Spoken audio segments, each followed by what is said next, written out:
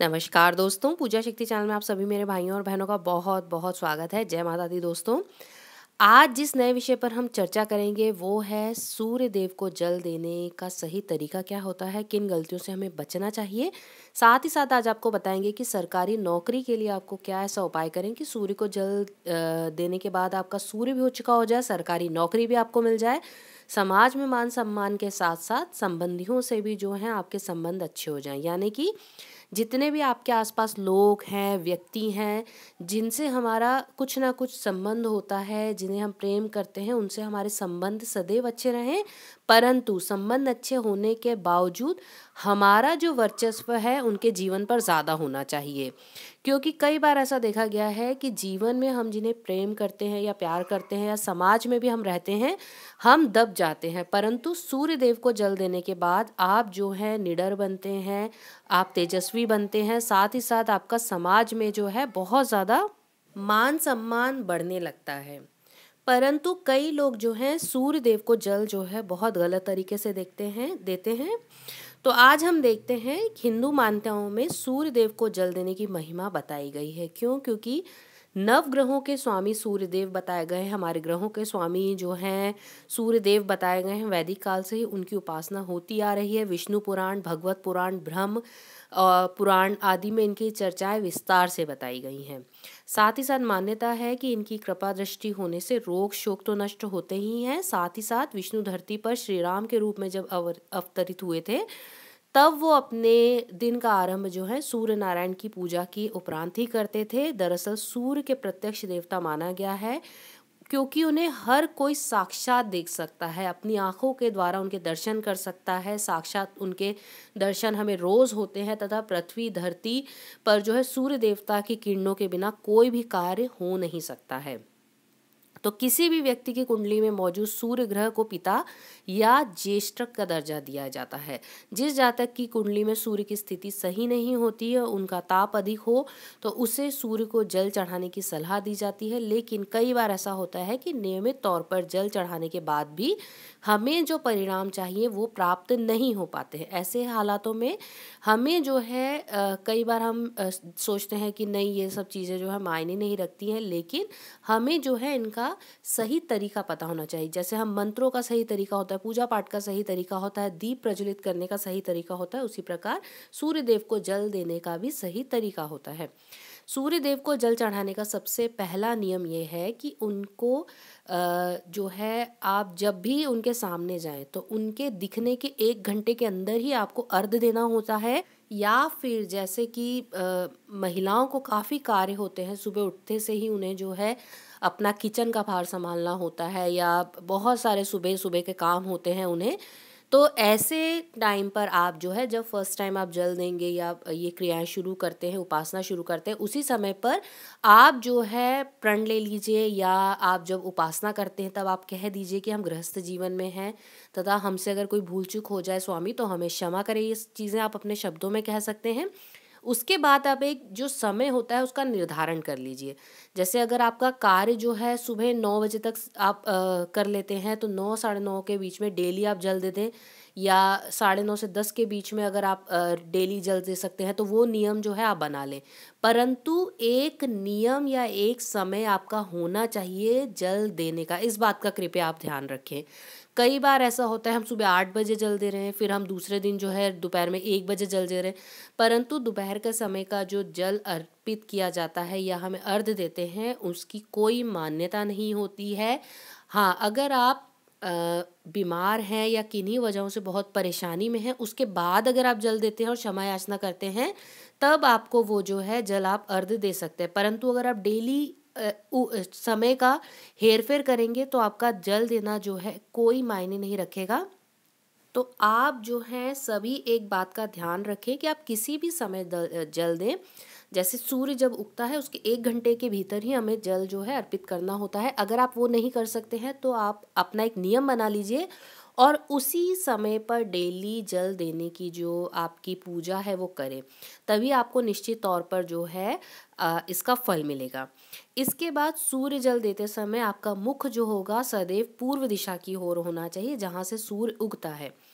आप अगर मल्टी में रहते हैं या आप बिल्डिंग्स में रहते हैं, आपके घर के आगे कोई पेड़ है या बहुत सी मल्टी है, मॉल है या आपको दिखाई नहीं देते हैं सूर्य देवता, कोई चिंता या कोई परेशानी की बात नहीं है। आप पूर्व दिशा की ओर मुखी होकर मतलब आप पूर्व दिशा की ओर मुख करके सूर्य देव का ध्यान करते हुए जल अर्पित करें। कभी भी आपका जो मुख होगा उत्तर, दक्षिण या पश्चिम की तरफ़ नहीं होना चाहिए, केवल पूर्व दिशा का मुख करके अगर आपके घर के बाहर सूर्य देवता नहीं दिखते हैं, बारिश की वजह से, किन्हीं भी वजहों से, आपको बिल्कुल भी परेशान नहीं होना है। आपके दिल में भावना होनी चाहिए दल जो दल देने की। उसके अलावा आपको पूर्व दिशा की ओर मुख करके सूर्य देव का ध्यान करते हुए, अपनी आँखों में उनका चित्र देखते हुए, यानी कि हम जब मन की आँखों से देखते हैं तो हमें साक्षात ही दर्शन होते हैं देवी देवताओं के। उसी प्रकार आपको सूर्य देवता को देखते हुए जो है, जल देना है। अब अगर आप जल देते हैं, उसमें पुष्प और चावल, अक्षत यानी मिला सकते हैं। परंतु किन्हीं कंट्रीज़ में जैसे पुष्प नहीं मिलते हैं, कई महिलाएँ जैसे घर पर ही रहती हैं, उन्हें पुष्प नहीं मिल पाते हैं, बिल्कुल चिंता नहीं करनी है, क्योंकि पूजा पाठ में केवल आपकी भावना ही भगवान देखते हैं। सदैव सदैव इस बात का ध्यान रखें, सामग्री जो है, बहुत हम जब पूजा पाठ बहुत गहन चिंतन से करते हैं मंत्रों का उच्चारण करते हैं, परंतु अगर हमारी परिस्थिति नहीं होती है तो देवी देवता कभी भी इस चीज़ के लिए नहीं कहते हैं कि आप ये पूजा कर। आपकी भक्ति भाव सबसे मेन होती है। पुष्प अगर आपको मिल जाते हैं तो आप पुष्प जो है लाल रंग के उसके अंदर, पानी के अंदर डालकर जो है जल अर्पित करेंगे। चावल डाल सकते हैं, परंतु चावल टूटे हुए नहीं होने चाहिए। इसके अलावा अगर आपको पुष्प नहीं मिल पाते, यानी फूल नहीं मिल पाते हैं तो आपको बिल्कुल भी चिंता नहीं करनी है। साथ ही साथ अगर सूर्य देव का मंत्र जाप करते हैं तो इससे आपको विशेष लाभ होता है। सूर्य मंत्र जो होते हैं, बीज मंत्र का जाप कर सकते हैं, सरकारी नौकरी के अलग मंत्र होते हैं, गृहस्थ जीवन के लिए अलग मंत्र होते हैं तो आप किस वजह से सूर्य देवता की आराधना कर रहे हैं, उसके लिए आपको एक निश्चित मंत्र जो है, उसी मंत्र का जाप करना है। अब मंत्रों के लिए अलग अलग मंत्र जो है, हम डिस्क्रिप्शन बॉक्स में दे देंगे। कृपया उन्हें देख लीजिए आप। इसके अलावा ऐसा माना जाता है, लाल वस्त्र पहनकर सूर्य देवता को अगर जल दिया जाए तो ये प्रभावी बन जाता है। यानी कि ये और ज़्यादा प्रभाव देता है और लोटा जो है, आपको तांबे का लोटा लेना है, इस बात का ध्यान रखें। जल सदैव साफ़ होना चाहिए। कई बार जल हम जो है, घर पर भर कर रख लेते हैं, परंतु साफ़ धुले हुए बर्तन में भरा हुआ जल जो है, आप एक से दो दिन के लिए प्रयोग कर सकते हैं, क्योंकि कई जगहों पर पानी की बहुत दिक्कत होती है। तो ऐसे में वही जो है, आपका जल आपने एक साफ़ धुले हुए बर्तन में रखा हुआ है, उसके बाद जो पूजा का जल है, उसका प्रयोग कर सकते हैं। अब जल अर्पित करने के बाद आप जो है, धूप, अगरबत्ती से पूजा करनी चाहिए। अर्ध देते समय हाथ सिर से ऊपर की ओर होना चाहिए। यानी कि आपके जो दोनों हाथ हैं, आपके सिर से ऊपर की ओर अर्ध देना चाहिए। जितनी ऊंचाई तक आपके हाथ जा सकते उतनी ऊंचाई तक स्ट्रेट हाथ खड़े करके आप जल दें। ऐसा माना जाता है, उतनी ही ऊंचाइयाँ आप प्राप्त करते हैं। जल अर्पित करते समय आप जो है, ऐसा महसूस करें कि सूर्य की सातों किरणें आपके शरीर पर पड़ रही क्योंकि हम बहुत दिल से अगर ध्यान करेंगे तो आपको जो गर्माहट है वो फील होगी। सूर्य देवता को जल अर्पित करने से नवग्रह की कृपा प्राप्त होती है। इसके बाद तीन परिक्रमा करनी होती है क्लॉकवाइज यानी कि घड़ी जिस तरीके से घूमती है, उस प्रकार से आपको वहीं खड़े होकर तीन परिक्रमा करनी होती है। मन वांछित फलों की प्राप्ति के लिए प्रतिदिन आप जो है, एक बहुत ही मंत्र है, बहुत ही बढ़िया मंत्र है ये। इसका आप उच्चारण कर सकते हैं, इस मंत्र को ग्यारह बार कह सकते हैं, इस मंत्र को आप याद कर लीजिए, उसके बाद जब जल अर्पित करने लगे, तब आप ये जो है मन में इच्छा करें, जैसे आप चाहते हैं कि मेरी पुत्री का विवाह हो जाए तो पहले आपको ध्यान करना है, मेरी पुत्री का विवाह हो जाए, मेरी पुत्री का विवाह हो जाए और उसके बाद आपको ये जो मैं मंत्र कहूँगी, ये कहना है, अगर आप नौकरी चाहते हैं, सरकारी नौकरी चाहते हैं तो पहले आपको कहना है, मुझे सरकारी नौकरी मिल रहे, मिल जाए, मुझे सरकारी नौकरी मिल जाए, मुझे सरकारी मतलब आपको ग्यारह बार मन ही मन बहुत पॉजिटिव होकर ये बात कहनी है। या अगर आपका कोई कार्य है, जैसे पैसे अटक गए हैं तो मेरा पैसा मुझे मिल जाए या मेरा नौकरी मुझे मिल जाए, या अगर आप प्रेम विवाह करना चाहते हैं तो हमारा प्रेम विवाह हो जाए, ऐसा जो भी आपकी मनोविच्छा मनोवांछित इच्छा है, उसे कहेंगे, उसके बाद आपको ये मंत्र बहुत ही ज़्यादा दिल से और बहुत ही भाव के साथ ये मंत्र कहना है, मंत्र इस प्रकार है ओम ह्रीम ह्रीम सूर्याय सहस्त्र किरणाय मनोवांछित फलम देहि देहि स्वाहा। फिर से कह देते हैं, ओम ह्रीं ह्रीं सूर्याय सहस्त्र किरणाय मनोवांछित फलम देहि देहि स्वाहा। आपको इस मंत्र का उच्चारण करना है। ये मंत्र जो है, हम डिस्क्रिप्शन में भी लिख देंगे।